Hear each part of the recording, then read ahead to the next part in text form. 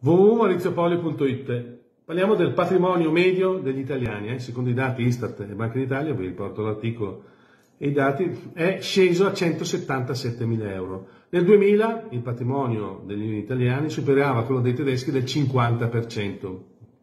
Adesso è sceso del 35%, quindi questo patrimonio corrisponde a 8 volte questi 177 mila euro mm, il reddito disponibile ed è concentrato per la metà nel mattone, quindi nell'investimento immobiliare, che negli ultimi 10 anni ha reso molto meno al netto di imposte e costi, decisamente molto meno rispetto al mercato, azionario, vi riporto qui poi.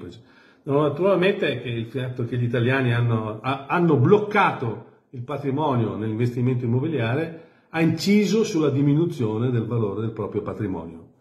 Una riflessione su questo tema aspetta a voi. Tutte le uova nello stesso paniere? Alla prossima!